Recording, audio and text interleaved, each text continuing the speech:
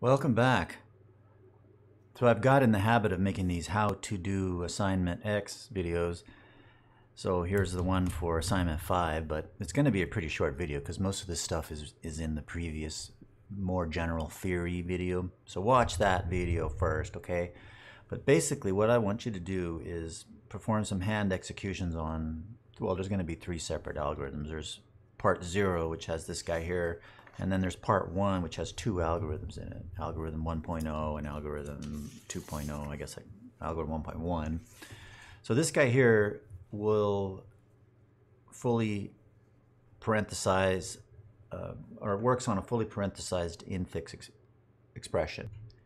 And it just evaluates them. So, so this is a couple of infix expressions, you know, 1 times 2 plus 3 and blah, blah, blah, all these guys.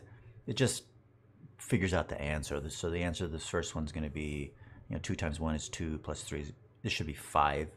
And this guy's going to be, uh, well, 2 plus 3 is, is uh, wait a minute, this one's 6, right? Yeah, 1 times 2 is 2, and it's 5.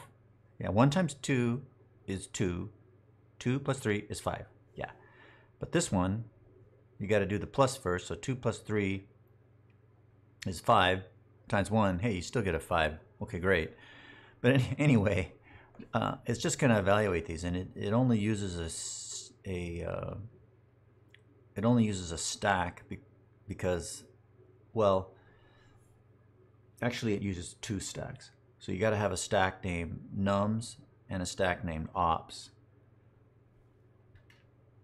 And um, it requires that the expression be fully parenthesized. That's why this guy has like a zillion parens because I've got a plus operation, a times, a plus, a divide, a times, a plus, a times, a plus. So it's got to have a pair of parentheses for every one of those operations. This algorithm only works if it's fully parenthesized.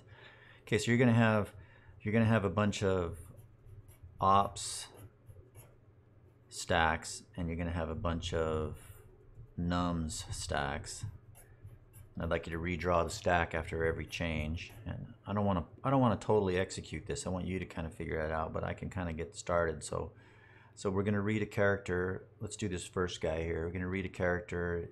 If it's a number, so it's not a number, it's an operator. So we're just we're making a distinction between operators and right parentheses here. So this guy's a right parentheses. So we're going to do these these guys. Oh, actually, it's a left parentheses, so we do nothing. Left parentheses, do nothing. Then um, you get another, another left parentheses, you're going to do nothing. Then you're going to get a 1. That's a num a number, so you're going to push it on nums.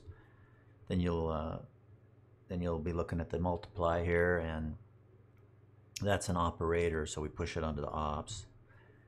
Then we get a 2, and that's a number, so we push it on there.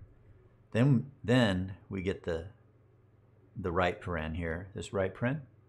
So we'll pop twice, we'll pop the operation, and we'll basically apply the operation. Well, the answer is num 2 op num 1. So, you know, 1 times 2 in this example. So you'll pop twice and apply the operation and the stack will, it'll look like this now see, you could notate that. Um, you could probably notate it like this, maybe with an arrow pointing down to that or something like that. Um, anyway, continue in that fashion and draw it up nice. You know, don't just scribble like I'm doing here, but draw it up pretty on a computer. And like, you're free to kind of invent your own notations. Like I like this little squiggly, this little arrow with the or this little caret thing with a multiply in there. But if, if you want to invent some other way of marking this up with colors or other symbols or something, that's fine. Because part of what I'm trying to get you to do is develop analysis techniques that work for you. Okay? Analysis techniques that work for you.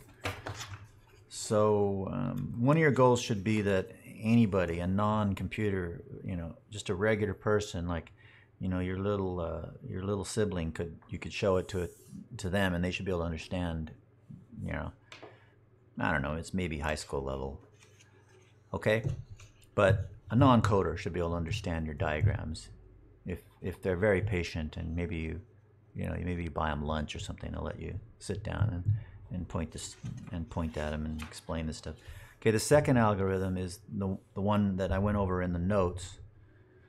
Okay where i hand executed this in the in the previous algorithm i want you to do the same thing but for these four expressions right here okay and so draw it uh, you know draw it up nice in a computer with, with show the stack lots of times and show the stack changing every time.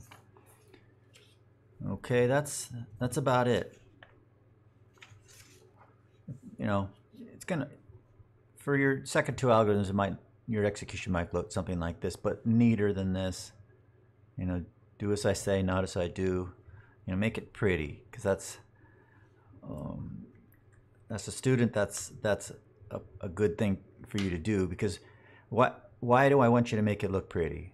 Because that's a study technique, right? If you if you if, if you're just taking a diagram and redrawing it and making it look all perfect, you're you're you're studying that all the steps in detail because you have to put them in the right little spot to make it look pretty. It's it's an excellent way to get these concepts in your in your brain more solid. The, so format is not just, you know, it's not trivial. It's a very important study technique. Okay, so walk through these algorithms, do what they tell you to do, make it look pretty, and uh, generate a nice document and send that in to me. All right, thanks. Have fun with that. See you next time.